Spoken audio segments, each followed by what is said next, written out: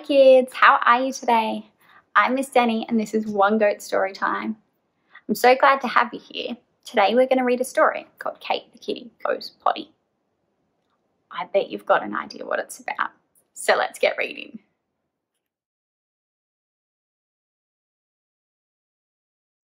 Kate the Kitty Goes Potty. Kate was having fun out playing. Uh oh, what's her belly saying?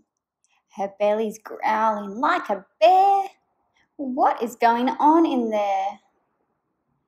Kate feels something in her belly. What is that? Could it be jelly?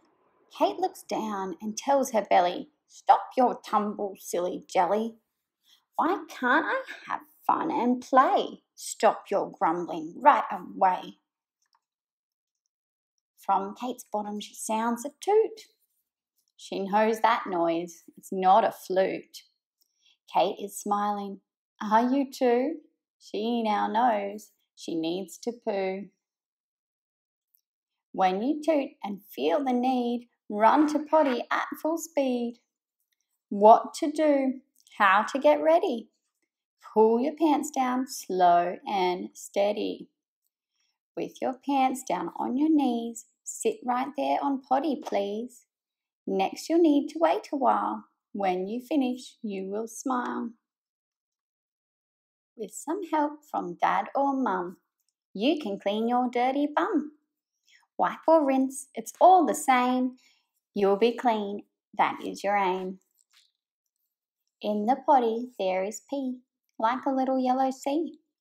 There is also poo so smelly, inside potty, no more jelly. Wash your hands, remember soap.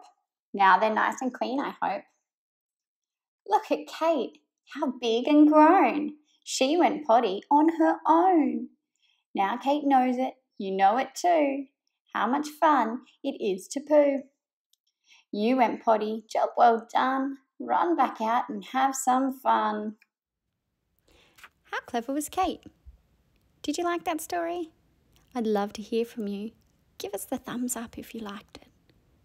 If you want to hear more stories, come again next week where we'll have some more exciting stories that you can read along with me, Miss Danni. See ya!